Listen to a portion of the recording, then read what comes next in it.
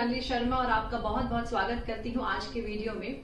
आज के इस वीडियो में हम जानेंगे कि आपका मई का महीना जो है, वो क्या गाइडेंस लेकर आ रहा है, क्या ऐसा कुछ खास है जो आपको समझने की ज़रूरत है, क्या ऐसा कुछ खास जो आपको करने की ज़रूरत है एक्शन लेने की ज़रूरत है। तो आइए देखते हैं आज हम लोग मई की गाइडेंस का ये वाला एपिसोड बेल बटन को ज़रूर दबा दीजिएगा ताकि जो भी नोटिफिकेशन होंगी वो आप तक पहुँच जाएँगी। तो सब्सक्राइब कीजिएगा, अभी मेरे चैनल को द पावर ऑफ़ टैरो और लाइक ज़रूर कीजिएगा अगर आपको आज का वीडियो अच्छा लगा।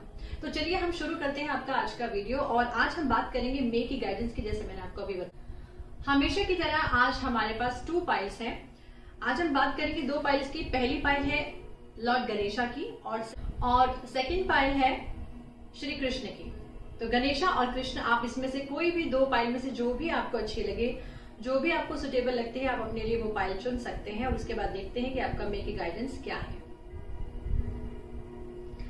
चलिए शुरू करते हैं। तो जिन्होंने लॉर्ड गणेशा का कार्ड चुना है, आइए देखते हैं आपके लिए मे का महीना क्या लेकर आया है। तो पहले बात करते हैं चैरो कार्ड्स में। देखिए, मुझे लगता है कि आप कुछ टाइम से कुछ प्लानिंग कर रहे हैं, कुछ मैनिफेस्ट करना चाह रहे हैं, या आप कुछ इन्वेस्टमेंट्स की तरफ़ जा रहे हैं, या कुछ भी नया कुछ शुरू करने वाले हैं तो मुझे लगता है कि उसके ऊपर जो आपकी जो एक फाउंडेशन है, जो एक काम है, वो आपने शुरू कर दिया है। और एक जो बीज है ना, जिसको कहते हैं, बीज को हम बो चुके हैं। और अब हम इंतज़ार कर रहे हैं कि हमें उसके ऊपर कैसे काम करना है, और कैसे हम लोगों को अच्छे रिजल्ट्स लेने हैं। तो मुझे लगता है कि मई के महीने में आप अपने उसी पुराने रुके हुए कामों को, बहुत सारी ऐसी चीज़ें जो रुकी हुई होंगी, या उसके ऊपर आप ऑलरेडी वर्क कर रहे होंगे, जो स्लो होगा तो मुझे लगता है उसके ऊपर आप मैनिफेस्ट कर सकते हैं, आप उसके ऊपर काम कर सकते हैं। लेकिन थोड़ा सा अभी भी ये ज़रूर बोलूँगी कि कुछ काम थोड़ा स्लो पेस पे ही चलेगा बट डोंट वरी धीरे धीरे अगर कोई काम किया जाए तो उसके रिजल्ट्स हमेशा अच्छे ही आते हैं। तो इसी तरह से अगर हम देखें, अगर आपको लगता है कि आप अपने एक्शंस में, अपने थॉट्स में कहीं ना कहीं रिस्ट्रिक्टेड फील कर रहे हैं तो मुझे लगता है कि वो रिस्ट्रिक्शंस जो है वो आपको, आप खोल देनी चाहिए। यानी कि अगर आपको थोड़ा सा कंसिडरेशन के लिए टाइम चाहिए, अगर आप सोचने का समय चाह रहे हैं तो वह सोचने का समय मेक आपके लिए बहुत अच्छा है। आप अपनी चीज़ों को जैसे प्लान कर रहे हैं, उसको, उसी तरह से प्लान करके एक्शन लें। कंसिडर करें कि आपके लिए बेस्ट बेस्ट ऑप्शंस क्या हो सकती हैं बेस्ट स्टेप्स क्या हो सकते हैं। लेकिन थोड़ा सा हेल्थ को लेकर आप थोड़ा सा चिंतित हो सकते हैं, यानी कि किसी भी चीज़ को लेकर वो चाहे हेल्थ हो या कोई और वो थोड़ा मेंटल जो है मेंटली मुझे लगता है कि कहीं ना कहीं आप थोड़ा सा एंग्जाइटी थोड़ा सा आपकी जो पीस है वो कहीं ना कहीं थोड़ी सी शेक हुई हुई है तो उसके लिए मुझे लगता है कि थोड़ा सा आपको मेडिटेशन की ज़रूरत पड़ सकती है मई के महीने में। और अगर हम देखें तो आपको बहुत ज़रूरी होगा कि अपने आप को बहुत स्ट्रांग बन के कोई भी काम का डिसीज़न जो है वो लेना बहुत ज़रूरी है। यानी कि अगर ऐसी चीज़ें जो पास्ट में नेगेटिव में हुई है और आपको अभी भी वो परेशान करे तो मुझे लगता है कि आपको उन चीज़ों से बाहर निकलना चाहिए और अपने आ, अपने आप को न्यू चीज़ों के लिए प्रिपेयर करना चाहिए। न्यू चीज़ों के लिए आपको अपने आप को ओपन कर देना चाहिए। रिस्क लेना ज़रूर चाह रहे हैं आप किसी काम को लेकर या अगर आप ट्रैवलिंग करना चाह तो मुझे लगता है कि मई के महीने में लॉन्ग ट्रैवलिंग्स ना करें। छोटा मोटा अगर आपको कहीं जाना है, कोई काम करना है तो उसी को देखें, क्योंकि हो सकता है कि आपकी लॉन्ग ट्रैवलिंग्स जो है, वो कैंसिल हो सकती हैं। या आपके काम जो है, वो कई बार हमको किसी काम करने के लिए बाहर जाना है, लेकिन हम लोग जा नहीं पाते तो कुछ ऐसे ज़रूर दिखाई दे रहा है। बट ट्राई करते रहिए, ताकि आपको कोई भी काम रुके ना। अगर छोटी मोटी डील्स करनी है छोटे मोटे काम से हमें जाना है तो वो ज़रूर आप चले जाइएगा।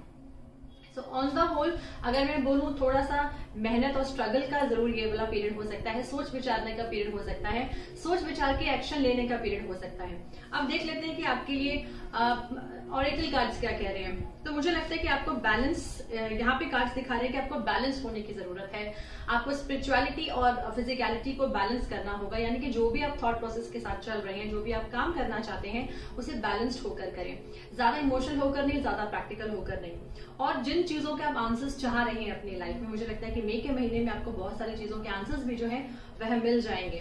यानी कि आपको अगर बिलीव नहीं हो रहा अपने किसी भी ऐसी चीज़ पर जो आपको लगता है कि वो हो ही नहीं सकती है तो मुझे लगता है कि आपको अपना बिलीफ सिस्टम जो है वो स्ट्रॉन्ग करना चाहिए, क्योंकि ज़िंदगी में कुछ भी हो सकता है। कुछ भी अनप्रिडिक्टेबल लाइफ में कभी भी हो सकता है। वो अच्छे के लिए भी होता है कहीं कभार बुरे के लिए भी होता है बट मैं यहाँ पे बुरे की बात नहीं कर रही। तो कुछ भी अच्छा भी हो सकता है तो जो मैनिफेस्ट करें, अच्छी चीज़ों को बिलीव करें कि आपकी ज़िंदगी में अच्छा हो सकता है। और अपने कंफर्ट जोन से बाहर निकलिए। यानी कि अगर आपको लगता है कि मैं अगर इस चीज़ से बाहर निकलूँगा या निकलूँगी तो मुझे कंफर्ट नहीं मिलेगा तो मुझे लगता है कि तब आपको अच्छे रिजल्ट्स भी नहीं मिलेंगे जब तक कि आप अपने कंफर्ट जोन से बाहर नहीं निकलते।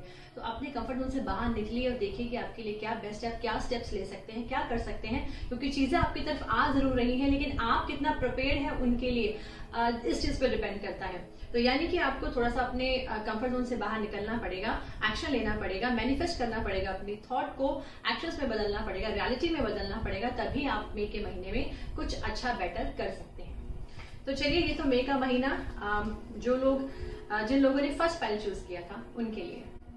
चलिए बात करते हैं जिन्होंने सेकंड पाइल चूज़ किया, यानी कि जिन्होंने श्री कृष्ण का कार्ड चूज़ किया था, कि आपके लिए मे के महीने में क्या गाइडेंस है। सबसे पहले देखते हैं हमारे चैरो कार्ड से और चैरो कार्ड से बता रहे हैं कि किसी चीज़ को लेकर आप क्लियर नहीं है, किसी चीज़ को लेकर आप थोड़े डरे हुए हैं, थोड़े फियर में हैं कि ये काम होगा या नहीं होगा।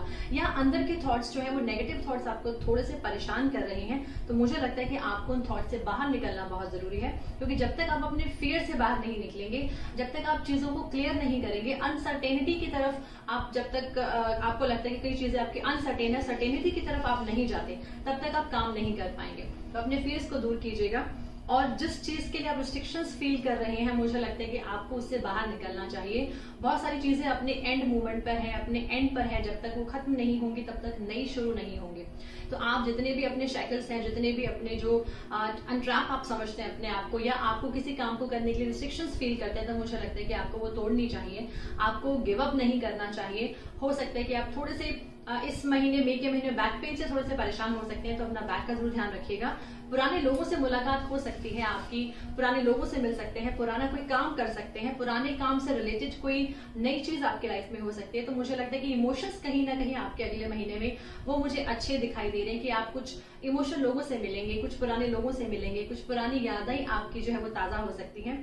तो ये सब चीज़ें हम मई के महीने में एक्सपेक्ट कर सकते हैं। और अगर आप कुछ इन्वेस्ट करना चाहते हैं कुछ नए काम करना चाहते हैं प्रॉपर्टी के लिए, कुछ लग्जरीज के लिए तो मुझे लगता है कि वो भी आप प्लान कर रहे हैं। आप किसी ऐसे इंसान को भी मिल सकते हैं जो इंसान बहुत प्रैक्टिकल होगा और जिसका एक औधा होगा और जो आपको कोई अच्छी गाइडेंस भी दे सकता है, जो आपको अच्छी सलाह दे सकता है या कुछ अच्छे लोगों से आपकी मुलाकात हो सकती है मई के महीने में। यह भी दिखाई दे रहा है, कुछ इन्वेस्टमेंट करते हुए दिखाई दे रहे हैं तो आने की, यानी कि आप जो भी काम करेंगे, अगर वो मनी से रिलेटेड कोई काम कर रहे हैं तो उसके रिज़ल्ट की आप अच्छे रिज़ल्ट की वेट कर सकते हैं मई के महीने में।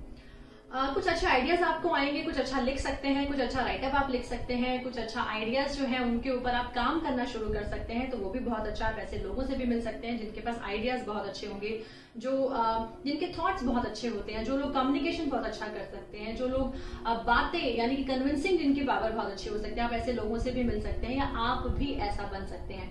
तो यानी कि अगर आपको कहीं स्पीच देने की ज़रूरत पड़ती है तो ज़रूर दीजिएगा। आप अगर किसी को गाइड करना चाहते हैं तो ज़रूर गाइड कीजिएगा। अपने अच्छे वर्ड से अपने अच्छे कम्युनिकेशन से। थोड़ा सा मुझे ऐसा लगता है कि कुछ चीज़ों को लेकर आपको हल्का सा सेक्रीफाइस करना पड़ सकता है। यानी कि आप कोई काम करना चाहते हैं और आपको लगता है कि आपको 100 परसेंट वो चीज़ चाहिए तो मुझे लगता है कि शायद 90 परसेंट आपको वो चीज़ मिलेगी, लेकिन उसका मतलब यह है कि अगर आज आप 90 परसेंट से खुश होते हैं तो आगे जाके वो हंड्रेड से भी ज़्यादा आपको उसके रिज़ल्ट मिलेंगे। तो कई बार किसी चीज़ को लेकर हमें अपना पॉइंट ऑफ़ व्यू बदलना पड़ता है, हमें अपने थॉट प्रोसेस बदलने पड़ते हैं तो ज़रूर बदलेगा क्योंकि आज अगर हम थोड़ा सा अपने में बदलाव लेकर आएँगे तो आने वाले टाइम में हम अच्छी चीज़ों को ग्रहण कर पाएँगे। चलिए देखते हैं ऑरिकल कार्ड से आपके लिए क्या मैसेजेस हैं। ऑरिकल कार्ड बता रही है कि समय जो है आपके लिए एक्शन लेने का है, काम करने का है, बैठने का नहीं है। तो जो भी काम, जो भी एक्शन आप करना चाहते हैं, कुछ भी नया काम करना चाह रहे हैं या ज़िम्मेदारी को निभाना चाह रहे हैं तो ज़िम्मेदारी को कंप्लीटली फुली रिस्पॉन्सिबिलिटी से निभाइएगा। ज़रूर आप अच्छा कर पाएँगे, थोड़ा बैलेंस रहिएगा।